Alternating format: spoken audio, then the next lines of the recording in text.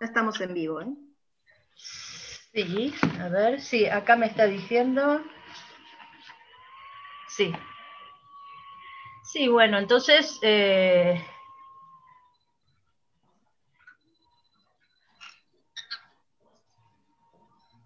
perfecto. Entonces lo conseguí. bueno, entonces voy a pasar a... Ah, tengo que... Eh, tengo que bajar la,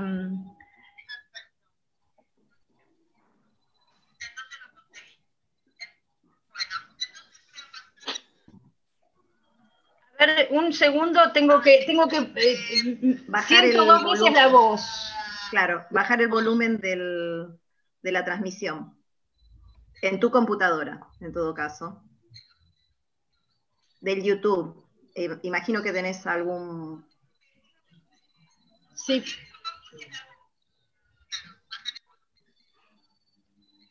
De todas maneras, no te preocupes que faltan dos minutos para que comience el seminario, así que, porque es una fija de una y cinco.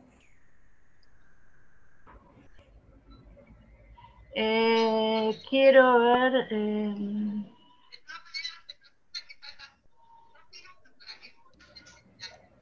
Sí.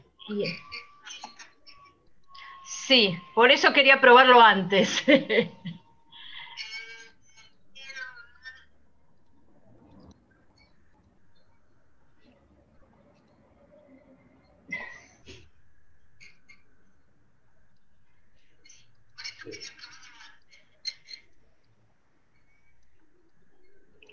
No, no sé de dónde, Nancy. ¿Me podés decir de dónde lo bajo?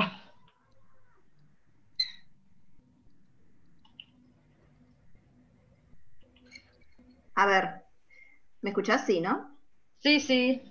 Bueno, fíjate, eh, debes tener como indicando, yo no sé si a vos se, te abrió aparte eh, el YouTube y es el que está haciendo de eco a la transmisión. Sí, por eso quiero abrir el, quiero sacarle el, el volumen en YouTube. Entonces, fíjate si podés llegar a entrar al escritorio y buscar donde tengas en el explorador en YouTube.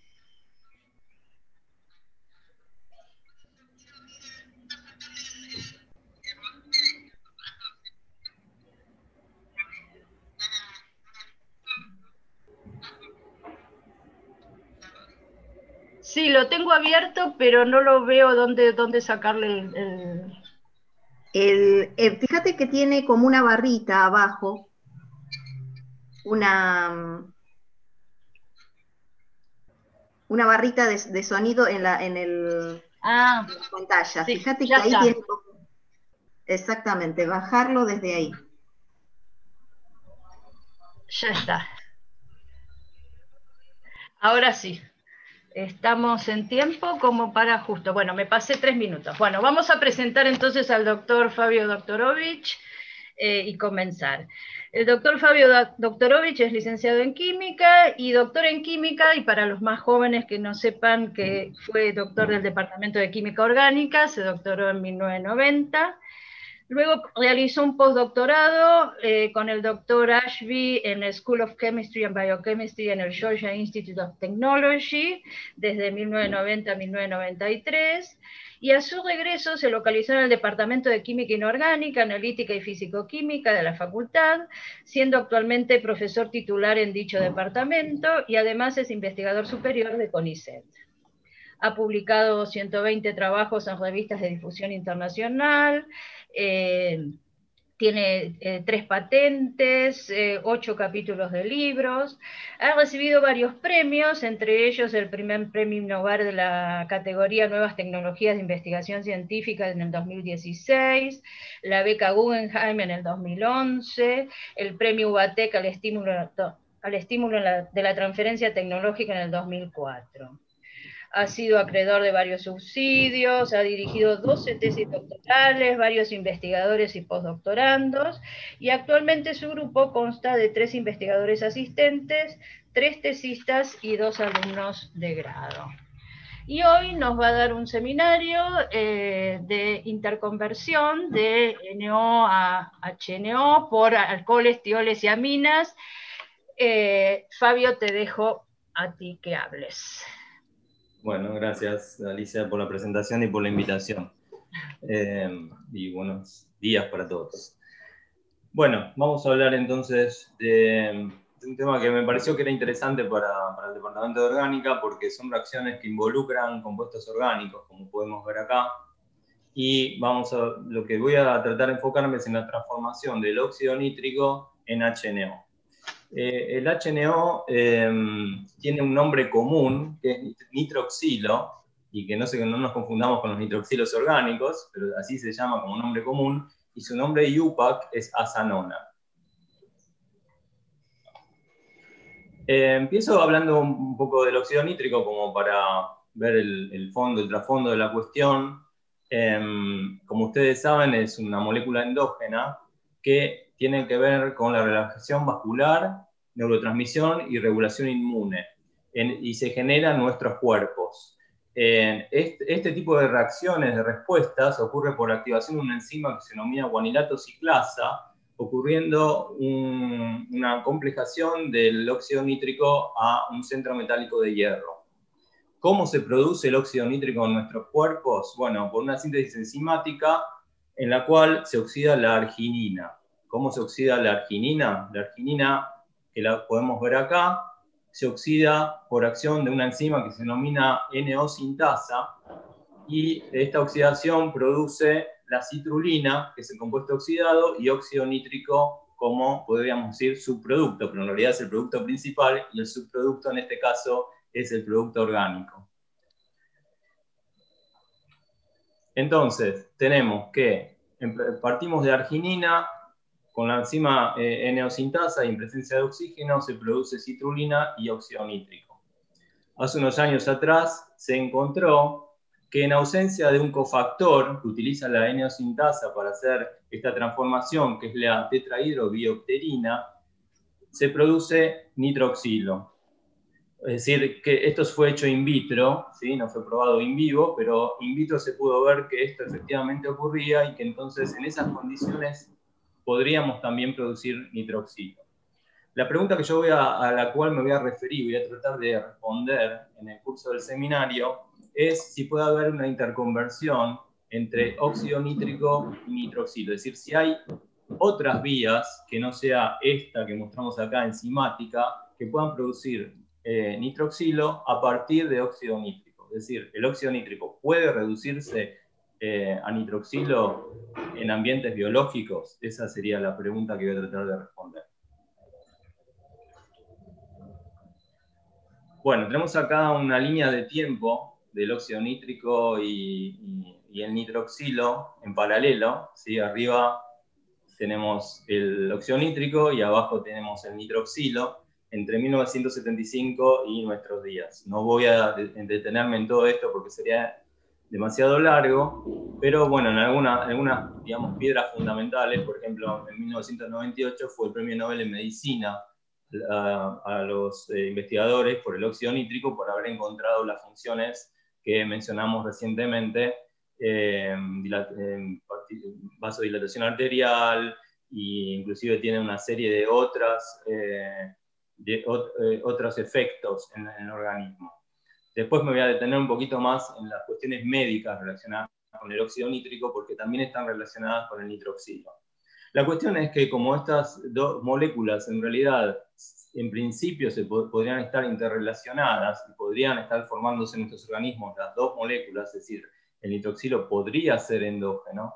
Entonces hay efectos que se atribuían al óxido nítrico que hoy en día pueden ser atribuidos al nitroxilo. Entonces, a partir, en esta línea de tiempo podemos ver que hacia el final eh, hay, cuestiones médicas que se atribuyen al, al nitroxilo, por ejemplo, en hipertensión pulmonar se utiliza, y en infecciones eh, bacterianas, vamos a hablar un poquito de eso en, unos minutos, eh, mientras que en el caso del nitroxilo hay efectos per se, de, como tal, también en hipertensión, arteriosclerosis y sobre todo en pacientes con em, fallas cardíacas. En particular se está desarrollando em, ya está en fase 2, fase 3, no sé si está llegando ya. Eh, Bristol Myers Squibb, un medicamento en el cual se aplica un donor de nitroxilo a pacientes que están por tener un infarto agudo y em, la, aplicación de, ese donor de nitroxilo eh, evita que se produzca el infarto. Este es un medicamento que está en este momento en la FDA eh, en fase 2 avanzada.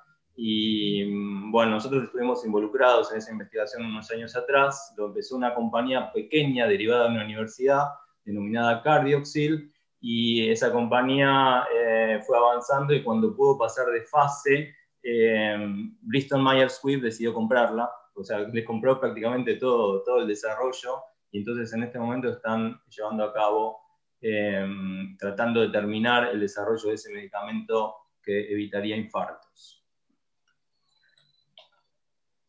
Bueno, entonces, ¿qué podemos decir del el nitroxilo? Eh, a diferencia del óxido nítrico, ustedes saben que el óxido nítrico se puede tener en un cilindro. Es un compuesto relativamente estable, bastante poco reactivo, pese a que es un radical libre, eh, es poco polar, si bien tiene electrón disponible, no tiene demasiada tendencia a reaccionar, reacciona con oxígeno para dar dióxido de nitrógeno, eh, por supuesto que sí tiene cierta reactividad, pero no es, no es tan reactivo. Lo que sí, el, nitroxilo es muy reactivo eh, debido a que se dimeriza muy rápidamente. Entonces no lo podemos tener en un frasco guardado o en un cilindro como se tiene al óxido nítrico, sino hay que prepararlo in situ a partir de compuestos que se denominan donores de HNO. Em, entonces, esto es, por supuesto, un desafío, porque uno tiene el donor de HNO, lo pone en determinadas condiciones, se produce el nitroxilo, pero muy rápidamente va a dimerizar o va a reaccionar o algo va a hacer y va a desaparecer. Entonces, la cuantificación no es tan fácil. Em, por otro lado, bueno, ya lo mencioné, lo de los estudios farmacológicos, que los efectos que tiene el nitroxilo son distintos de los del óxido nítrico. Em, y por otro lado, em, muchas funciones biológicas, debido a que los, caminos no están bien diferenciados entre nitroxilo y, óxido nítrico, podría ser que muchas funciones biológicas atribuidas al óxido nítrico realmente son promovidas por el nitroxilo. Entonces, bueno, lo que es una pregunta todavía abierta es la interconversión, sobre todo endógena, en nuestros organismos o en, sistemas biológicos en general, entre el óxido nítrico y el hidroxilo.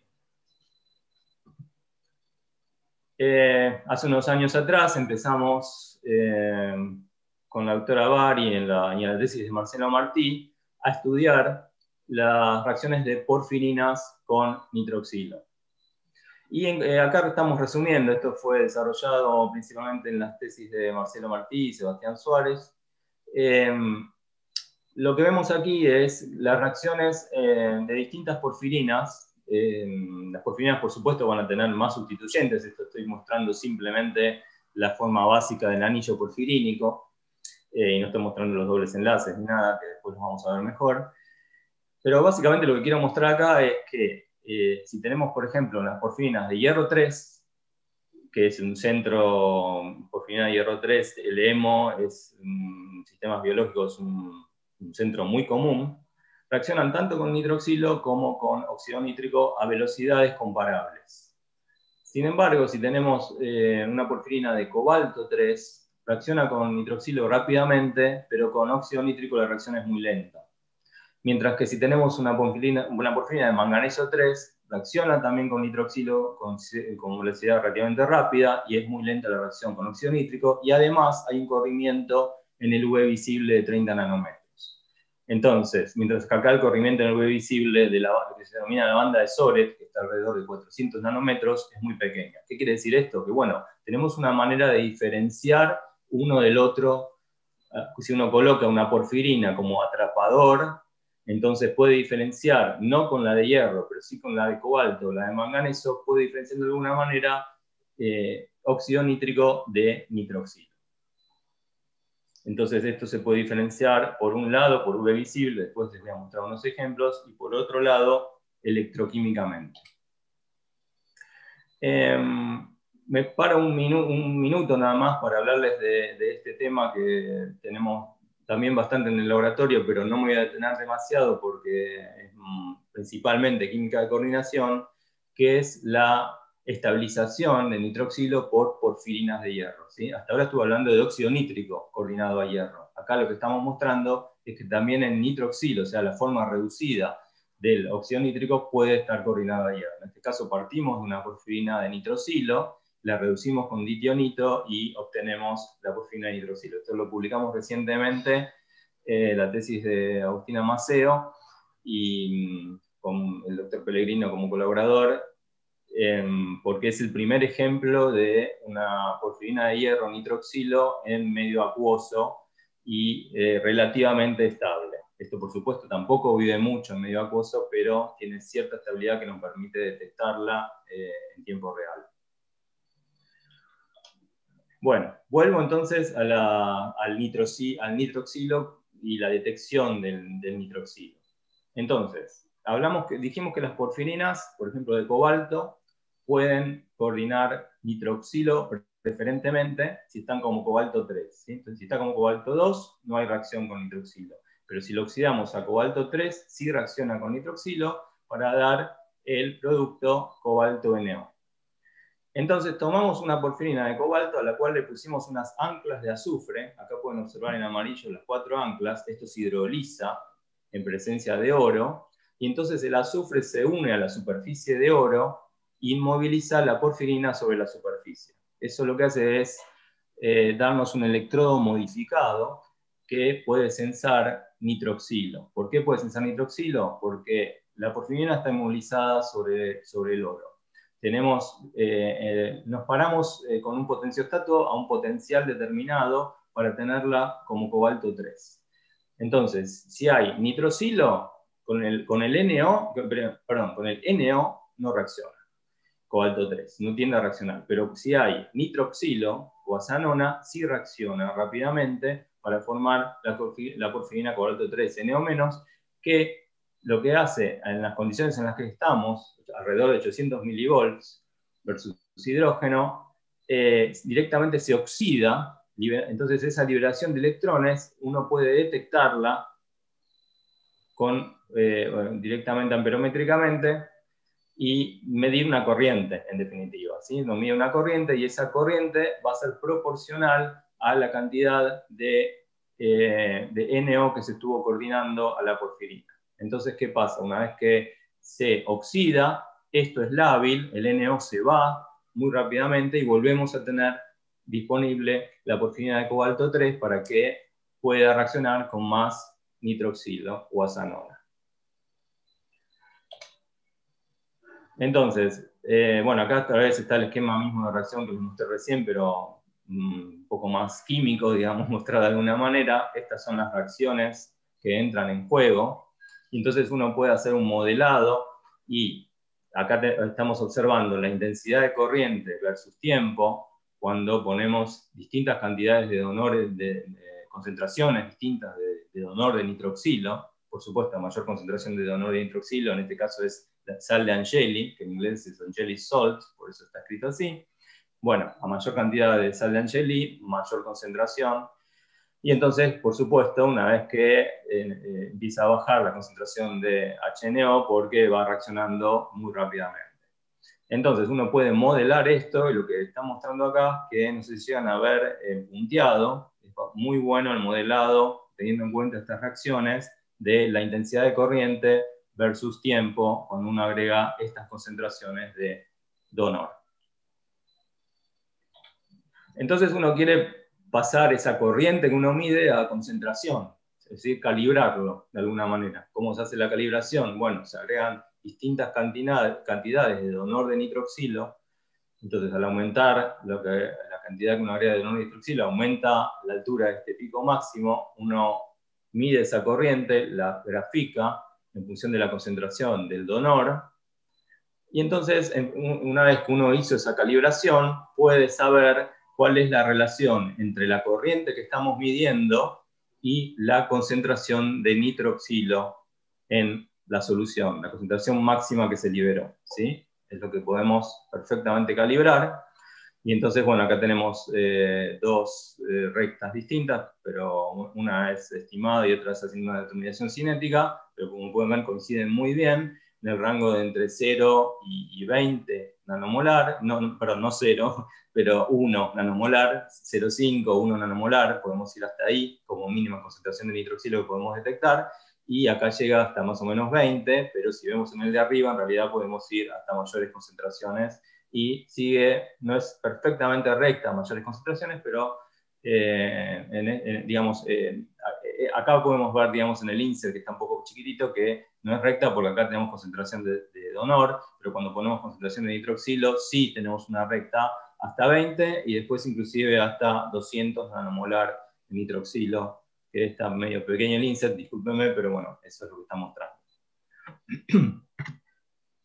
Bueno, entonces teniendo ese, detector, ese electrodo de trabajo en el cual tenemos la porfirina de cobalto sobre oro, decidimos desarrollar un sensor, un sensor electroquímico. ¿Qué es un sensor electroquímico? Bueno, el sensor tiene tres electrodos incorporados en una sola pieza. Esos tres electrodos son el electrodo de trabajo, o sea, el de oro con la porfirina de cobalto, un contraelectrodo y en general necesitamos un electrodo de referencia que comúnmente se utiliza en nuestros casos plata, cloruro de plata.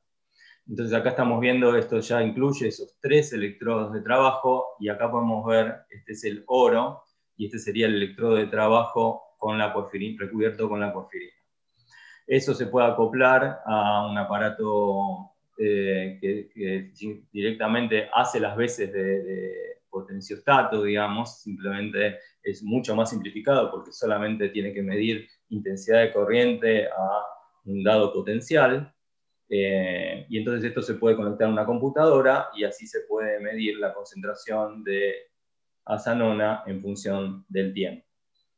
Otra posibilidad que uno tiene es hacer una versión más parecida a los cuantificadores de glucosa, los eh, glucómetros o glucosímetros, no sé exactamente se llaman así, que uno puede conectar un, eh, esto un aparato electrónico y entonces al agregar una gota de sangre eh, también se mide una corriente y esa corriente es proporcional a la concentración de nitroxilo que se detecta. Tenemos otra versión más que no, voy a mostrar acá, pero porque es un poco impresionante, que es, también podemos hacer un sensor muy, muy pequeño, del tamaño de una cánula, y esa cánula poniendo, ponerla dentro de animales. Eh, hemos hecho experimentos eh, dentro de ratones y ratas en vivo, y entonces pudimos en, esas condiciones seguir la concentración de nitroxilo eh, cuando se le inyectaban distintas cosas a esos animales. Entonces acá estoy mostrando el prototipo completo. Esto es lo que va conectado a la computadora, que hace las veces de potenciostato, y a su vez está conectado al sensor, que tenemos aquí, que está en la solución con nitroxilo, inmerso en esa solución, y en la computadora podemos ver la concentración, en realidad la corriente, en función del tiempo, que es proporcional a la concentración de nitroxilo en función del tiempo. Eh, esto es una patente PCT que fue publicada recientemente eh, y también hemos hecho una solicitud de patente argentina para este sensor que no solamente mide en soluciones acuosas, sino también puede medir en sangre. Bueno, entonces pasando, hablamos de sangre y vamos a hablar un poco del uso médico del nitroxilo que podría tener, además de ese que ya les mencioné, de, que ya les mencioné del, contra los infartos. Em, y entonces empiezo hablando del óxido nítrico. El óxido nítrico se utiliza en respiradores. Eh, lo que estamos acá viendo es un respirador. Em, fue aprobado su uso en 1999 en la FDA y 2001 en, Europa. Eh, se empezó utilizando para neonatos que tenían eh, insuficiencia respiratoria. Entonces, el aparato lo que hace es liberar desde un cilindro en general, lo tienen almacenado, liberar una pequeña cantidad de óxido nítrico al respirador y el paciente va respirando ese óxido nítrico que va eh, digamos, mejorando la insuficiencia respiratoria. Pero, como pueden ver acá en el título, ¿sí? este aparato ahora se está utilizando para el COVID. ¿Por qué están haciendo eso? Em, porque además de este síndrome de estrés respiratorio agudo que ya comenté, en el 2004 ya se estuvo probando el óxido nítrico para la otra versión del SARS y ahora en 2020 se empezó a probar para la, versión del COVID. Eh, ya se observó que para el SARS era, era bastante bueno, o sea, producía efectos eh, bastante buenos, no solamente por la dilatación que produce en el aparato respiratorio, sino también porque es antibacteriano. Entonces, si digamos, se produce una neumonía a causa del virus, digamos, no, es, eh, pero bacteriana, el virus puede de alguna manera hacer que se, se, produzca una neumonía bacteriana, entonces el óxido nítrico evita esas cosas.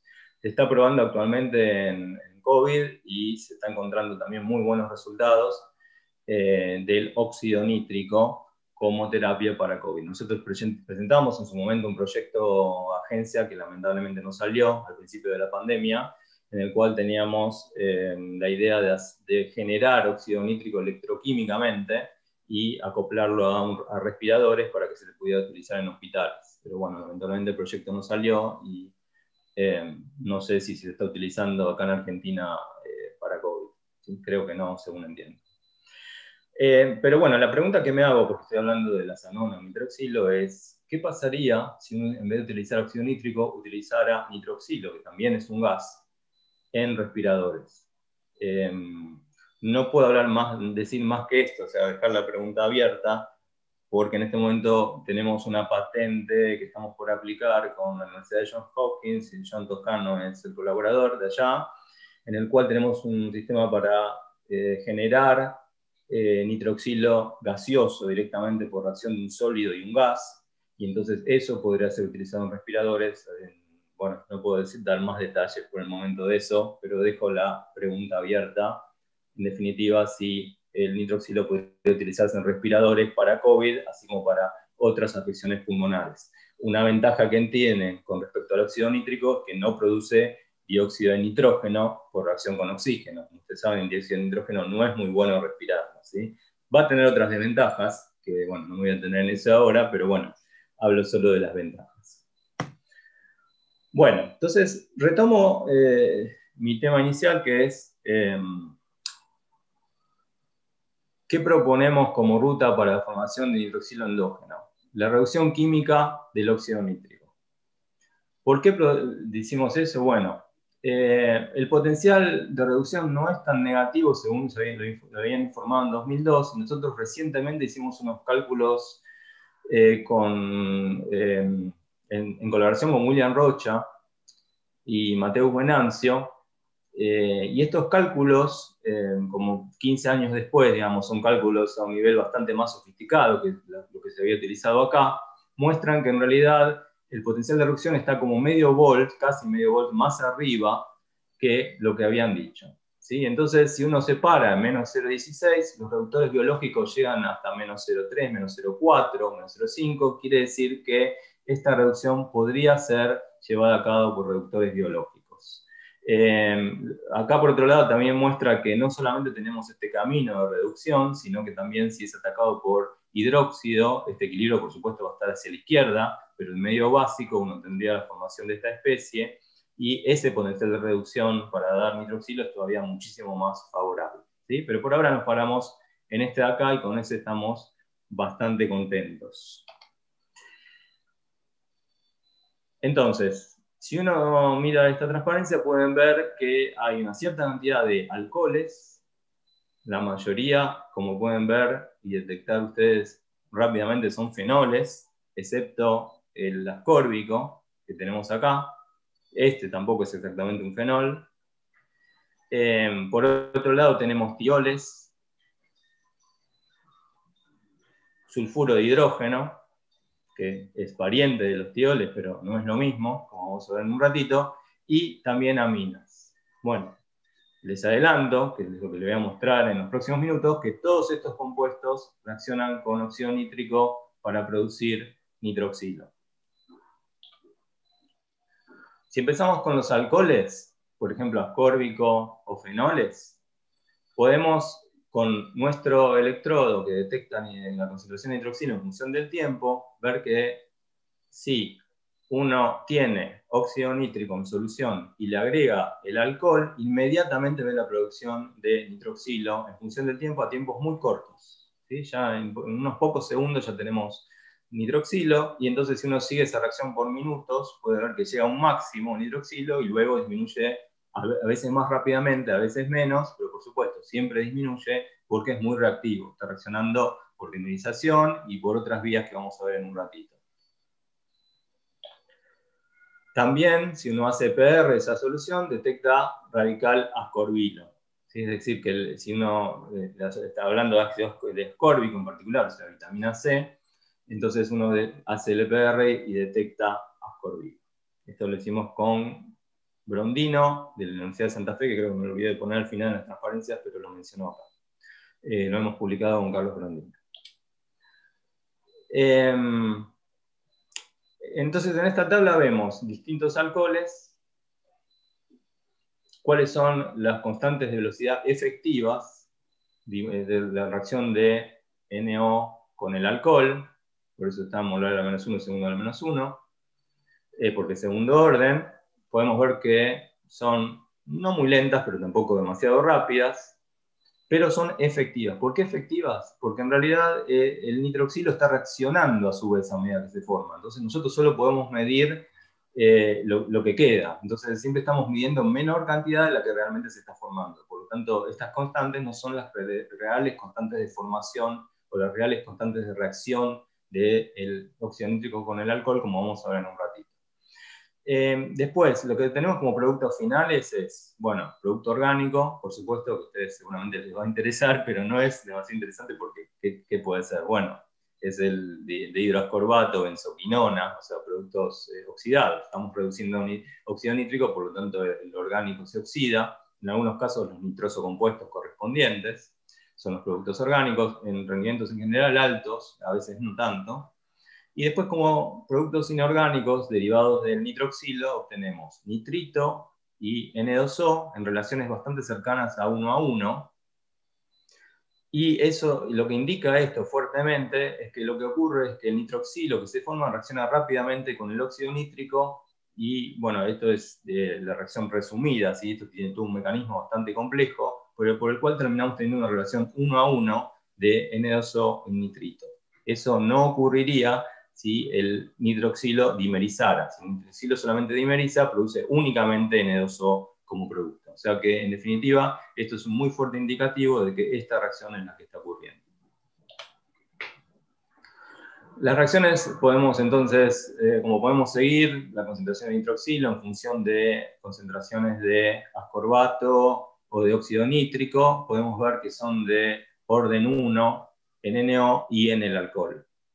Y eso lo podemos ver no solamente en el ascorbato, sino en los otros alcoholes que mencioné acá, que en todos los casos eh, es orden 1 con respecto al alcohol, la reacción. En cuanto a las energías, eh, si uno parte de, del ascórbico, en, equilibrio con el ascorbato, ataca el óxido nítrico, y acá podemos ver que esta primera, la formación de, esta primera especie está un poco cuesta arriba, ¿sí? unas 9 kilocalorías cuesta arriba. Em, pero después lo que ocurre, esto fue detectado por EPR, es el radical ascorbilo que les mostré antes, la formación del radical, la formación de, de un nitroso compuesto, lo que ocurre está cuesta abajo. Sin embargo, preocupa un poco esto porque en realidad la reacción es más rápida de lo que uno esperaría eh, con eh, esta barrera, no es una barrera en realidad porque esto sería un intermediario, con esta cuesta arriba de 9 kilocalorías por. El mecanismo que propusimos en aquel momento y que todavía estamos proponiendo, después vamos a dar una variación de esto, un par de variaciones de esto, es que hay un ataque del alcohol al óxido nítrico, que sería un ataque nucleofílico, en definitiva, del alcohol o del alcoholato dependiendo del pH, a óxido nítrico, y eso está acoplado con una transferencia de protón. Entonces lo llamamos un ataque nucleofílico acoplado a protón. ¿Por qué acoplado a protón? Bueno, porque el protón de alguna manera está activando al óxido nítrico para el ataque nucleofílico del par electrónico del alcohol. Y entonces, eh, Ese ataque produce este radical y este radical luego se descompone para dar el radical ascorbilo, por ejemplo, que vimos antes, y el nitroxilo. Otra posibilidad es que haya un mecanismo autocatalítico, y que eso de alguna manera explicaría las velocidades relativamente rápidas que estamos viendo. Es decir, una vez que se forma eh, nitroxilo, puede reaccionar con óxido nítrico, esta reacción es bien conocida para dar este radical, y ahora si este radical reacciona con el alcohol, que es el reactivo, produce el, radical derivado del fenol, y el radical derivado del fenol reacciona rápidamente con NO para producir la quinona y nitroxilo. Entonces tenemos un mecanismo que de alguna manera sería autocatalítico. Una vez que formamos un poquito de nitroxilo, ya esta reacción va por eh, la parte autocatalítica. Hicimos eh, en colaboración eh, con gente de Erlangen, de Alemania, experimentos en, células y lo que se ve es que si uno tiene células que las inmunoestimula para que produzcan óxido nítrico y a ese cultivo le agrega córbico, se produce inmediatamente nitroxila. Acá de nuevo estamos siguiendo la concentración de nitroxila en función del tiempo con el, eh, el electrodo es decir, electroquímicamente, y se puede ver que efectivamente ocurre en células en las cuales se le estimula óxido nítrico, que se agrega ascórbico, se produce nitroxilo. Esto de alguna manera no muestra que sea endógeno, sino, pero demuestra que las reacciones pueden ocurrir en sistemas biológicos. Eh, paso ahora entonces a hablar de tioles y sulfuro de hidrógeno. Eh, unos años atrás, en colaboración también con estos grupos de Alemania, eh, nosotros medimos eh, la formación de nitroxilo en presencia de sulfuro de hidrógeno y óxido nítrico. Ellos hicieron experimentos relacionados biológicos y médicos que demostraban que, de nuevo, en, medios biológicos la reacción ocurre y se produce nitroxilo. Eso, bueno, nosotros lo pudimos hacer también eh, in vitro en ensayos de laboratorio. Lo que aquí estamos, estoy mostrando entonces son los ensayos de laboratorio, detección de nitroxilo a partir de sulfuro hidrógeno y óxido nítrico. Podemos ver que si uno tiene óxido nítrico, agrega sulfuro de sodio, por ejemplo, y inmediatamente aumenta la concentración de nitroxilo y luego disminuye en función del tiempo. A siendo parte de distintos dos pHs, lo que se puede ver es que a pHs ácidos, donde tenemos eh, por debajo del pKa1 el sulfuro de hidrógeno, hay muy poca formación de nitroxilo o es muy lenta, mientras que cuando uno se para en el pKa1, o sea, cuando tenemos sulfuro ácido de hidrógeno, SH-, eh, es máxima la velocidad de formación del nitroxilo. Cuando uno sube un poco más del pKa, empieza a volverse más lento. Entonces el máximo estaría en lo que es el de velocidad estaría en el pK1 del sulfuro de hidrógeno. Eh, recientemente con el profesor Olave acá presente, publicamos un trabajo en colaboración. Em, debo decir que principalmente es obra del, profesor Olave, pero bueno, yo contribuí en algunas cosas, eh, en la cual hablamos de estas reacciones que son muy, es muy compleja la química del sulfuro de hidrógeno, más aún que la de los tioles, que ya es compleja per se. Eh, entonces tenemos la reacción inicial acá, mostrada en la cual se forma este radical. Este radical aniónico, por reacción con NO, puede producir tionitrito o el ácido tionitroso y HNO, que es el producto que buscamos. Pero después hay reacciones de ese tionitroso con otras eh, productos de la reacción que voy a mostrar en la referencia que sigue, que producen nitroxilo por un lado, pero también otra especie que se denomina pertionitrito y que sería la especie, una especie mucho más estable que el tionitrito o, el ácido tionitroso. Esta especie en principio creemos con el profesor Olave que sería mucho más estable. Eh, para, solo para hacerles ver de dónde salen estas especies que estoy mostrando acá y la complicación de esta química del, del azufre inorgánico, les muestro las reacciones aquí, donde pueden ver bueno, cómo son producidas estas especies que estaba mostrando antes. Eh, no me detengo más en esta transparencia porque eh, estoy entrando un seminario en el Departamento de Química Orgánica, pero bueno, eh, lo pueden invitar al profesor Olave y él les va a detallar muchísimo sobre todas estas reacciones. Yo simplemente quiero mostrarles un pantallazo de lo complicado que es la química del azufre inorgánico. Em, por otro lado, bueno, en las reacciones con tioles observamos lo mismo, o sea, la producción de nitroxilo, con, tanto electroquímicamente como si utilizamos atrapantes. ¿Se acuerdan que les había mostrado que las porfirinas de manganeso o de cobalto pueden atrapar nitroxilo selectivamente? Bueno, lo que estamos haciendo acá. En lugar de tener nuestro electrodo, lo que hacemos es agregamos la porfirina de manganeso en el medio de reacción y cuando se agrega eh, el, tiol, lo que se ve es que se va formando la porfirina de manganeso NO. ¿sí? Va aumentando la concentración de la porfirina de manganeso DO y que queda eh, estable. Esto ocurre con los tioles eh, y también con los alcoholes. Em, simplemente para mostrarles el otro método que hasta ahora no les había mostrado de, para detectar nitroxilo. Pero esto, por supuesto, no está detectando concentración de nitroxilo de tiempo real, sino que estamos viendo por UV visible la concentración de la porfirina de manganeso NO, en este caso TCPP, que se está formando. Bueno, el perfil de reacción es, para el caso de los tioles es de alguna manera similar a lo que habíamos visto para los alcoholes, es decir, tenemos una reacción que está cuesta arriba en el primer paso, porque la reacción del doblete con un singlete, eso en general eh, es cuesta arriba. Eh, y entonces no es muy cuesta arriba, pero un poco, y después se ve cuesta abajo, pero no llega a, eh, digamos, bajar más que los reactivos iniciales. Después, bueno, se produce HNO, por supuesto, cuando esto dimeriza y produce N2O, finalmente sí es muy estable el N2O, y entonces va a estar por acá abajo, digamos, en el perfil de energía, pero no, no lo pusimos.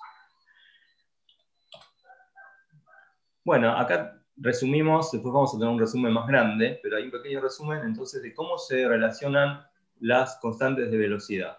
Acá tenemos los alcoholes, acá abajo, que son los más lentos. Los tioles, como pueden ver, son bastante más rápidos que los alcoholes, las reacciones de formación de nitroxilo, o las reacciones, de, perdón, las reacciones entre el tiol y el óxido nítrico son más rápidas, mientras que acá lo más rápido de todos es el eh, sulfuro de hidrógeno, sulfuro de sodio, en este caso, que lo usamos. Eso podemos ver por un lado, ¿sí? Entonces, alcoholes son los más lentos, tioles y sulfuros el más rápido. Por otro lado, los rendimientos de nitrito y N2O están siempre bastante parecidos a uno a uno, lo cual indica esta reacción que les había mostrado antes, en la cual el nitroxilo está reaccionando con el óxido nítrico, que es el reactivo.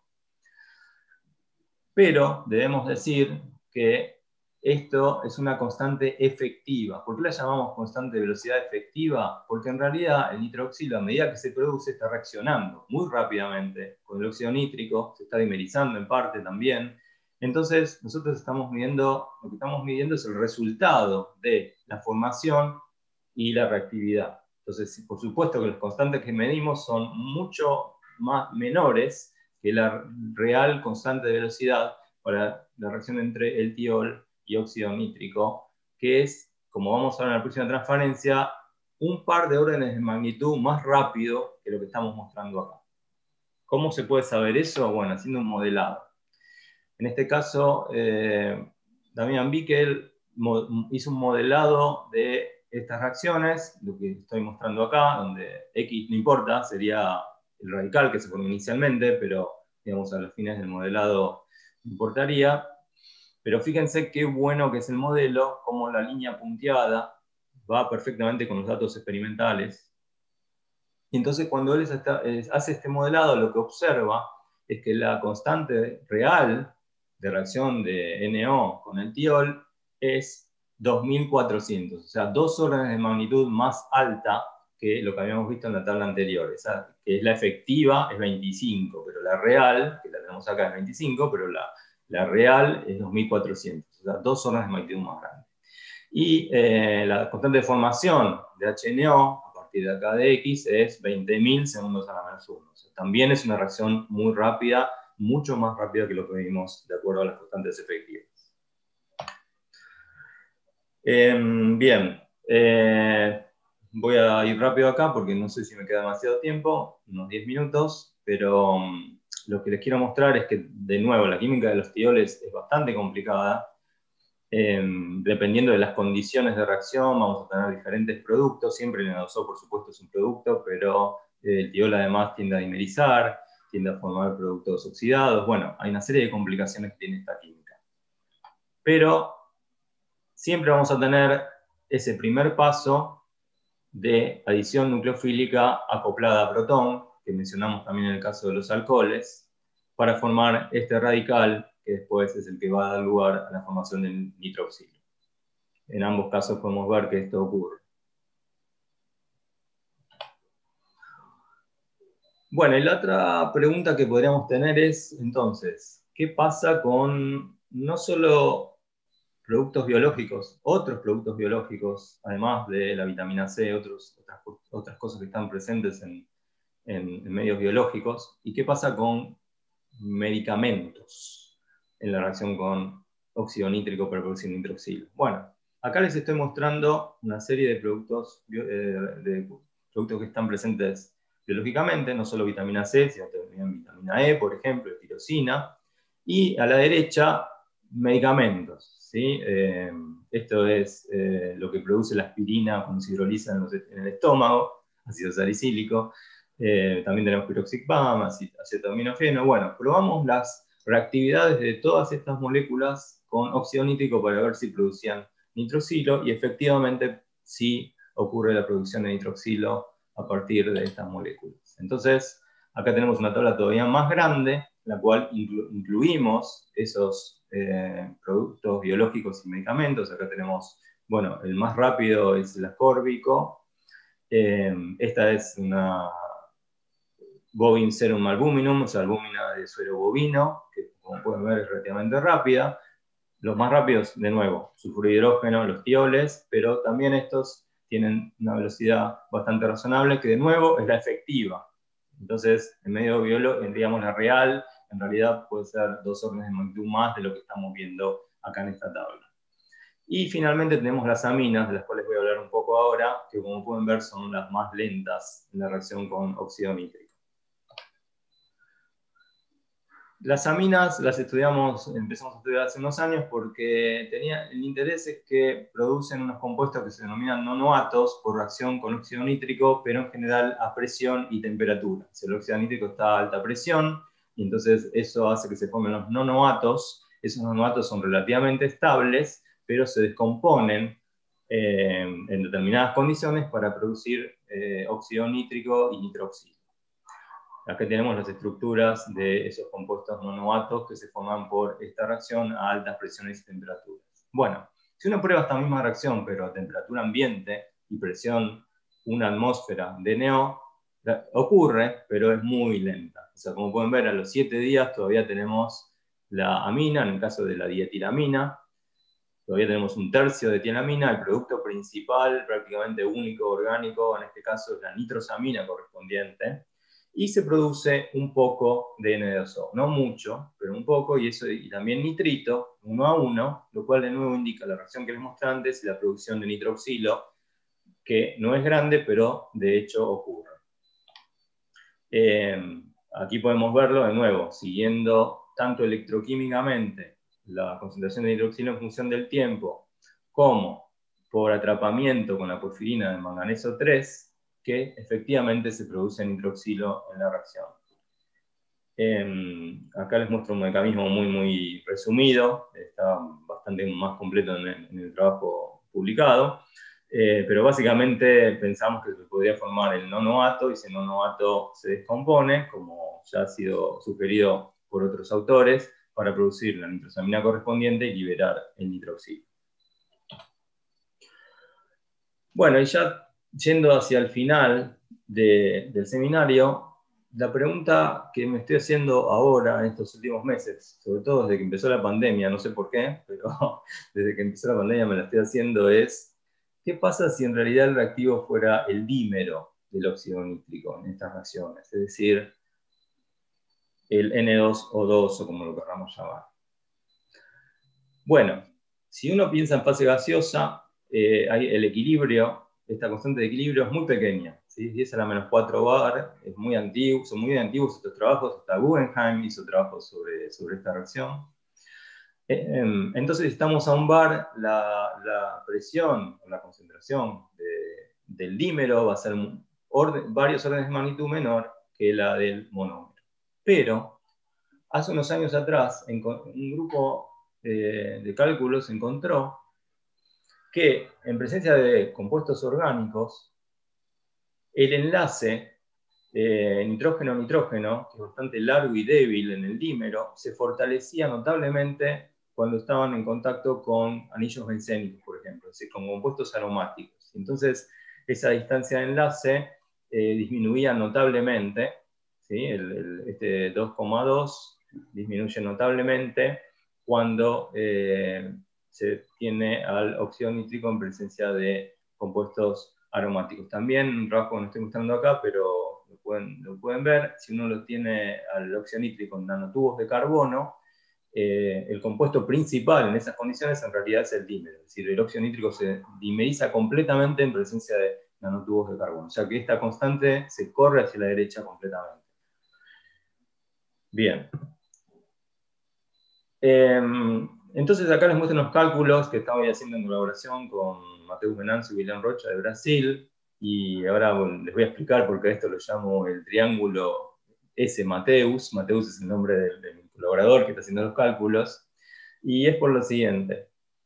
Si uno ahora parte de óxido nítrico, separadamente, ¿sí? entonces tiene que de alguna manera dimerizarlo. Bueno, dimerizarlo no es tan cuesta arriba, son 5 kilocalorías por mol dimerización para dar el dímero correspondiente, cuya distancia de enlace es muy larga, a cada 2, 2,2 es lo medido, 2,1, 2,2 es el que se, ha medido.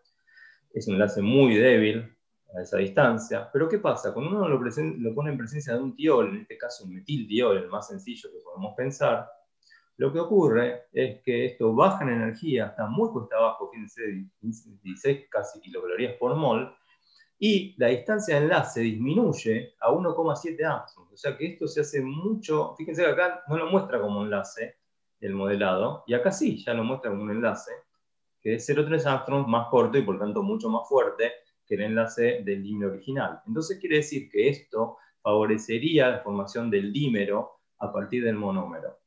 Y se forma, fíjense, este, este triángulo que yo llamo el triángulo de Mateus, Em, similar al de Bermudas, esperemos que no. Eh, pero bueno, este triángulo lo que está haciendo es estabilizar eh, este enlace y además se forma, estabiliza el, intermediario este que se forma. Esto no, no, es un estado de transición, sino un intermediario. Ahora sí vamos a un estado de transición en el cual el azufre se acerca más a uno de los nitrógenos y finalmente forma un enlace con uno de los nitrógenos para dar lugar a este compuesto que de nuevo, fíjense que está bien cuesta abajo, y este compuesto puede descomponer para dar nitroxilo y el nitrosotiol correspondiente, acá estamos agregando protones porque necesitamos para formar el nitroxilo en la forma protonada. Bueno, estos son resultados preliminares porque acá tenemos bueno, cálculos en fase gaseosa, estamos haciendo ahora la dinámica molecular eh, en agua, pero bueno, eso lleva tiempo de cálculo. Eh, pero son, digamos, resultados bastante fuertes, es a lo preliminar, porque como podemos ver, la cuesta abajo esta es muy, muy, muy empinada. Entonces, eso explicaría por qué la velocidad de las reacciones es mucho más rápido de lo que uno esperaría de acuerdo a los cálculos que les mostré antes que estaban puestos arriba. Bueno, y termino con esto, que creo que es lo, quizá lo más fuerte de lo que, de lo que, de lo que voy a mostrar, que es lo que de alguna manera demostraría la producción endógena de nitroxilo. Eh, esto estamos haciendo en colaboración con Roberto Posner, de la Academia de Ciencias. Eh, si tienen preguntas sobre esto, por favor a Roberto, porque él tiene todos los detalles, lo está haciendo en, su laboratorio, eh, con nuestra colaboración. Pero bueno, lo que podemos ver acá es que si él toma plaquetas, perdón, plaquetas, y entonces lo que hace es induce la agregación plaquetaria, agregando distintos activadores de la, agregación plaquetaria, y en todos los casos ve que al, agregar, esos activadores, las plaquetas se agregan, pero también producen nitroxilo al mismo tiempo. ¿sí? Son plaquetas que se sabía que producen óxido en general al, agregarse, plaquetas humanas, ¿sí? no, no cualquier plaqueta, y estas plaquetas humanas producen nitroxilo, y también acá tenemos en función del tiempo y bueno, si agregas córbico ve que la producción es mayor que lo uno esperaría, pero aunque no se agregue córbico, se produce nitroxilo. Así que yo considero que esta es la primera muestra real de que el nitroxilo es una molécula endógena, porque no estamos agregando nada directo con respecto a la formación de nitroxilo. Es decir, sin ascórbico también ocurre, y lo único que está haciendo es inducir la agregación plaquetaria. Bueno, termino acá entonces, eh, pero no me he pasado mucho.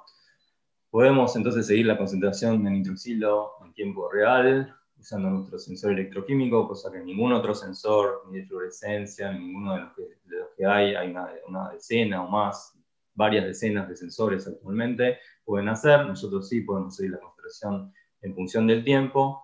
Y de acuerdo a todo lo que he mostrado, creemos que la reducción de nitroxilo de, de óxido nítrico a nitroxilo por reactores biológicos es un camino para su formación endógena. Bueno, eh, muestra a los colaboradores, tanto investigadores, todos estos de arriba ya son investigadores, eh, también hay estudiantes de doctorado involucrados en este tema y estudiantes de grado, y bueno, una serie de colaboradores, tanto locales, eh, uno Martí, que es el que de alguna manera empezó, se puede decir, esta, línea cuando estaba haciendo la tesis, y bueno, Fernando Batellini, Marseca y todos los demás de, otros lados que están colaborando en este proyecto. Así que bueno, agradezco eh, y les paso un breve aviso del libro que publicamos hace tres años eh, sobre nitroxilo, que está disponible en el CEDIAR. Gracias a todos.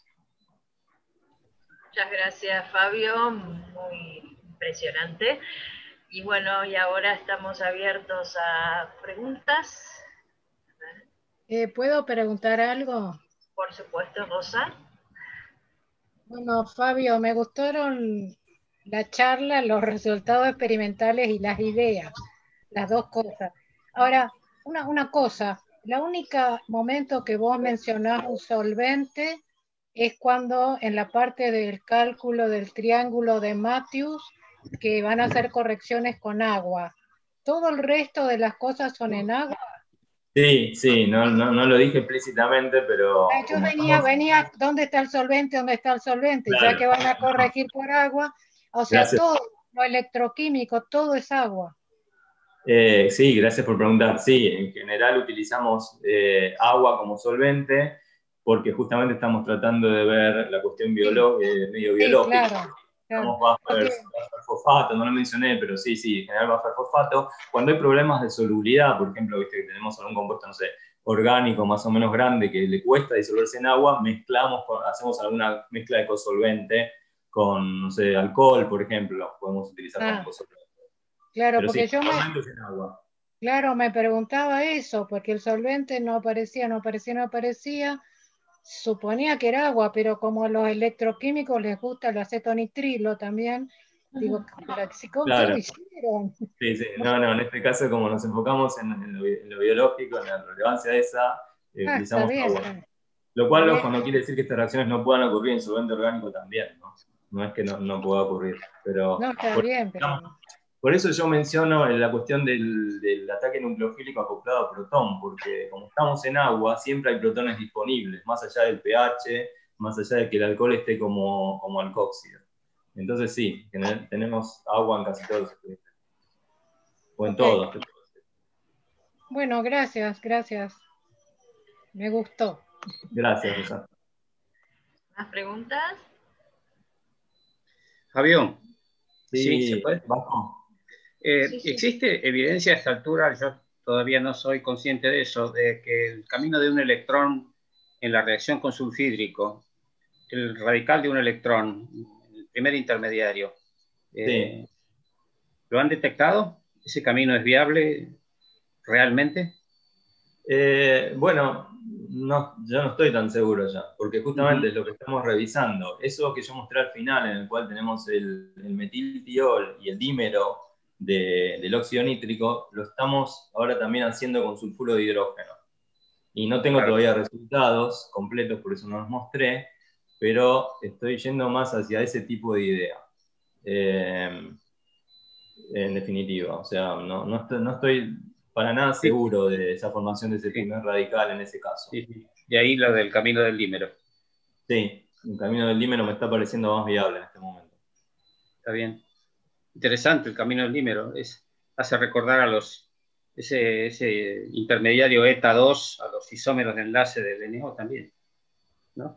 Eh, sí, los isómeros de enlace del NO. Y bueno, después la reacción con oxígeno, ¿no? Del óxido nítrico, que, que en general es segundo orden y en, el NO, sí, sí, que es un intermediario que todo el mundo dice que tiene que estar, pero nadie lo, nadie puede claro. Y la otra cosa muy interesante que yo no dije con respecto al dímero es que se ha estudiado en fase gaseosa, pero prácticamente no hay estudios en agua. No hay estudios directamente en agua, no es que prácticamente no hay. Están esos papers que mostré eh, que hacen cálculos con moléculas orgánicas, con nanotubos, pero nadie hizo cálculos eh, con óxido nítrico hidratado para ver la estabilidad del dímero en esas condiciones. Así que eso es lo que estamos haciendo ahora. muy interesante un comentario respecto a la pregunta de Rosa eh, es que eh, efectivamente, eh, en mi caso, la, insistencia en utilizar el agua para un símil biológico más relevante no descarta que hay una gran cantidad de estas reacciones hechas en solventes orgánicos, cetonitrilo y próticos, alcoholes, y que muchos de estos compuestos, los sulfurados, por ejemplo, el tionitritos y pertionitritos que mencionaste vos, que trabajamos, tienen toda una química en los dos solventes. Es decir, que si uno asume que estas reacciones pueden ocurrir en membranas o en compartimentos hidrofóbicos, la, reactividad en, un aprótico puede ser significativamente diferente a la del agua, cosa que demostramos nosotros en el caso de los nitritos. Así que es sumamente interesante ahora, por lo menos en mi caso, que abominaba de los orgánicos, eh, un poco realmente decías, no, no, si la química biológica ocurre en agua, ¿qué tanto orgánico? Sin embargo, bueno, es un hecho común, uno tiene que, claro, hay que buscar en qué compartimiento es relevante la reacción que estamos estudiando, si estamos en, no sé, en, qué compartimento celular, ¿no es cierto? ¿Cuán, cuánto, ¿Cuán hidrofóbico es? ¿Cuánto, qué, qué, sustratos eh, pueden facilitar? Y las reactividades son muy distintas, así que es una química mecanística sumamente interesante comparar agua y, otros solventes. Ah, seguro. Sí, de acuerdo. Podemos colaborar, Rosa. Fabio, yo tengo una pregunta. ¿Por qué probaron la formación cuando por agregación de plaquetas? Digamos, ¿por qué, qué, relación había? ¿Qué, ¿Sabés por qué? Bueno, porque, a ver, básicamente entramos en colaboración con Roberto Posner y él se especializa en la agregación plaquetaria estudio de reacción plaquetaria por un lado y por otro lado eh, sabíamos que se produce óxido nítrico en la agregación. ah, ya se sabía que se produce. Claro, claro, sí, sí. Pero bueno, es porque eh, Roberto está especializado en eso, ¿no? no, no, está bien. No, porque se podría ver, qué sé yo, pensé en eh, por qué justamente en ese tipo, ya se sabía que se producía en, la agregación plaquetaria. El óxido nítrico, claro, pero no nitroxilo. No nitroxilo. son esas cosas de cuando uno colabora, o sea, que a ver qué hace el otro y qué podemos. Por, lo que, por lo que hiciste fue ponerle ascórbico, en definitiva. Y ver sí, pero aún sin ascórbico lo produce el nitroxilo, ese es el aún tema. Sin agregar ascórbico porque lo produce. por eso yo digo que esa es, es, la muestra de que es endógeno. Claro, de que es endógeno. Lo hemos hecho antes, no. Lo de las células que producen NO y uno le agrega ascórbico, es externo el ascórbico que se está agregando. Acá no, él agrega, él simplemente lo que hace es, bueno, las induzco a que se agreguen con un inductor que no tiene nada que ver con el nitroxilo ni con el óxido nítrico, y eso produce nitroxilo. Y con distintos inductores, ¿no? Además. Él prueba tres, cuatro inductores diferentes, y los cuatro le producen, en los cuatro se produce nitroxilo. Entonces, a mí me parece que es una demostración fuerte. sí, sí, es muy fuerte. Sí, sí. Bueno, no sé si hay más preguntas. Sí, ahí Adriana. Hola Fabio, muy interesante la charla. Muchas gracias. Hola Adriana, ¿qué tal? Eh, mi pregunta era si cuando probaron las oxidaciones de los tioles, alcoholes, etcétera, también habían probado con algún monosacárido, algún hidrato de carbono, porque por ahí, digamos, son más fácilmente oxidables y bueno, están también solubles en agua. Sí, buena pregunta. No, no, recuerdo que hayamos probado. Es una buena idea. Había que decía manitol, que manitol no dio, pero... Claro, el manitol probamos, por ejemplo. está en una de las transparencias que hoy. Manitol no dio, por ejemplo. Sí, manitol no dio. Y, por ejemplo, otro que probamos es metanol, obviamente, y no, eh, no sea, en general tiene que tener un cierto grado, no necesariamente ser aromático, pero tener algún doble enlace cercano que pueda favorecer la Por eso, pensando en el aldehído, ¿viste? ¿Cómo? Pensando en el aldehído, para oxidarlo al ácido. Claro, a lo mejor es más ejemplo, fácil. Es fácil y, sería como un método de oxidación suave. Aldehídos no probamos nunca. Aldehídos no, bueno, por eso digo, el aldehído del azúcar, por ahí podría, podría ser. Puede ser, sí. Podría ser. Podría funcionar. Otra cooperación.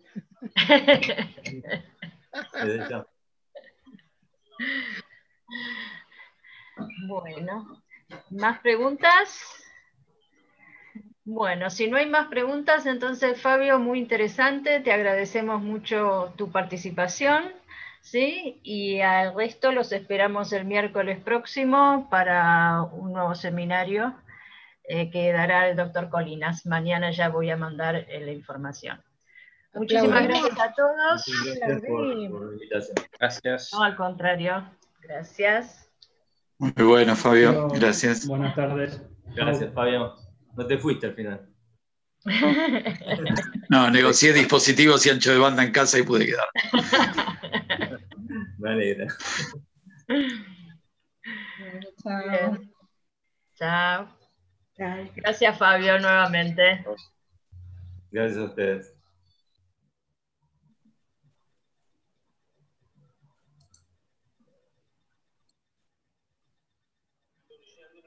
Yo le quería preguntar si él estuvo con el que estudiaba el manto sagrado.